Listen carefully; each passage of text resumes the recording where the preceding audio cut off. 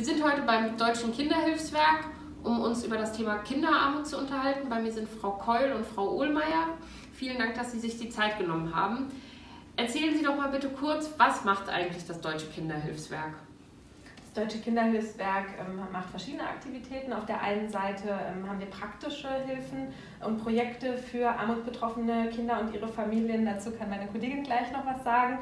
Ähm, das ist der eine Teil. Und der andere Teil ist, dass wir politische Lobbyarbeit machen, sowohl auf der kommunalen als auch auf der Länder- und der Bundesebene und Forderungen aufstellen, wie die Situation von armutsbetroffenen Kindern und Jugendlichen verbessert werden kann, die an die Politik tragen, so wie jetzt auch ins Gespräch gehen mit Politikerinnen und Politikern und versuchen, für dieses Thema zu werben und dafür eine Öffentlichkeit zu schaffen und eben politische Forderungen aufzustellen, die dann auch ihren Eingang am Ende mal im Gesetz finden.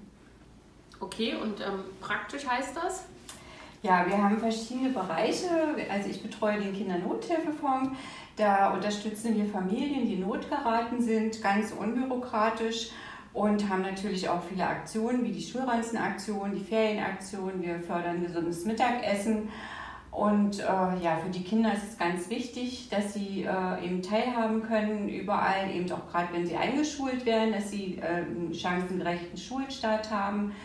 Und das leisten wir eigentlich mit dem Bereich Kinderarmut. Und was würden Sie sagen, was bedeutet das für Kinder, wenn sie in Armut aufwachsen? Sie haben eben schon Teilhabe erwähnt, also fehlende Teilhabe oft. Was bedeutet es sonst für diese Familien? Also es ist äh, für diese Kinder sehr traurig, wenn sie zum Beispiel nach, nach den Ferien in die Schule kommen und sie können nicht erzählen, so wie andere Kinder, dass sie also keine Ferien hatten, weil sie eben nicht mit ihren Eltern verreisen konnten, weil die Eltern eben kein Geld haben. Und darum unterstützen wir Ferienfahrten für diese Kinder, weil es für diese Kinder besonders wichtig ist, dass sie auch in den Ferien sich mal erholen können. Und dann natürlich haben sie auch Spaß, wenn sie dann aus den Ferien wieder in die Schule kommen und können auch berichten und über positive Erlebnisse erzählen. Und das ist für die Kinder besonders wichtig. Dankeschön. Und wenn Sie jetzt noch ein, eine konkrete Forderung, ein oder zwei konkrete Forderungen, was müssten wir als Politik eigentlich besser machen?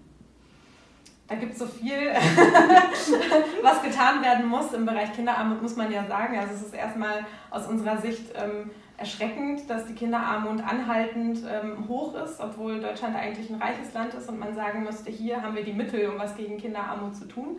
Ähm, eine Forderung, die wir aufstellen, gemeinsam mit dem Bündnis Kindergrundsicherung, ist, dass Leistungen zusammengefasst werden sollen, kindbezogene Leistungen, sodass Eltern mit einer Leistung, ähm, die sie beantragen, die dann ähm, sozusagen die Kinder bekommen, alle Kinder gleich abgesichert werden können und allen Kindern damit auch gleiche Chancen gegeben. Dann setzen wir uns ein für ein Bundeskinderteilhabegesetz, in dem es einen Rechtsanspruch auf Teilhabe geben soll, der dann auch jedem Kind zusteht. Ähm, dann ist Armut natürlich auch immer eine Frage der Vererbung von Armut und von Bildungsgerechtigkeit. Und da braucht es aus unserer Sicht ähm, eine entsprechende Ausstattung der Bildungsinstitutionen, von der Kita bis hin zur Schule. Ähm, und da auch eine Frage von Beteiligung von Kindern und Jugendlichen. Wir merken zum Beispiel und haben das auch durch wissenschaftliche Studien unterlegt, dass Kinder resilienter sind, besser mit Armut umgehen können, wenn sie von früh auf schon in der Kita beteiligt werden. Und ganz sozusagen das, der große Wurf wäre aus unserer Sicht ähm, eine Gesamtstrategie, ein bundesweiter Aktionsplan gegen Kinderarmut, der ressortübergreifend ansetzt, wo sich Bund, Länder, Kommunen und dann eben auch all die verschiedenen Ressorts ähm, zusammensetzen und eine Strategie entwerfen, wie man eben Kinderarmut gemeinsam angehen kann und wie man Maßnahmen auch besser aufeinander abstimmt. Super, vielen, vielen Dank Ihnen für Ihr Engagement, Ihre Arbeit und auch für das Gespräch. Dankeschön. Sehr gerne. Vielen Dank noch.